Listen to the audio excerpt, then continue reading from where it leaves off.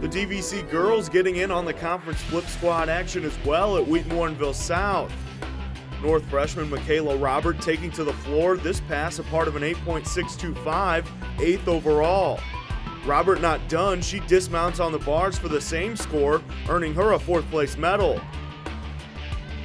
Glenbard North's Amanda Quinn on the bars now. She's got some momentum and a nearly flawless dismount. 9.5 wins her the event. Back to the Huskies and Caitlin Daly on the balance beam. Her double back and a 9.1, good for fourth. Daly was in a tie for fourth with crosstown rival Claire Savard. She sticks the dismount 9.1 as well. Panther Mariah Mattisai had the best routine of all though, 9.55, good for first.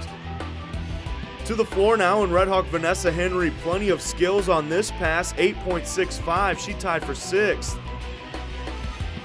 Fellow Central gymnast Jessie Cruz one upping Henry from corner to corner. She was two tenths higher for third.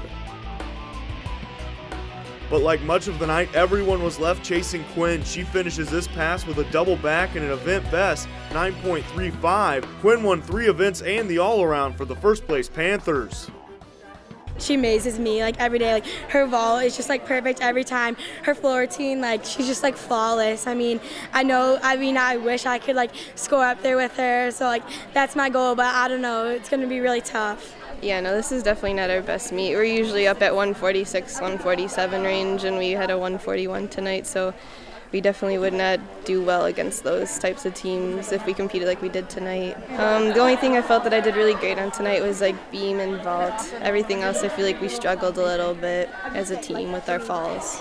We always kind of like come together at the end with beam, and then we always love like finishing off with floor because that is like by far our strongest event. And tonight I actually changed it all around. Like that was different than what I've thrown in the past. So like the first pass was like a little shaky, and I kind of like flew off the floor, and because it was just kind of like new to me, and I was like playing around with it.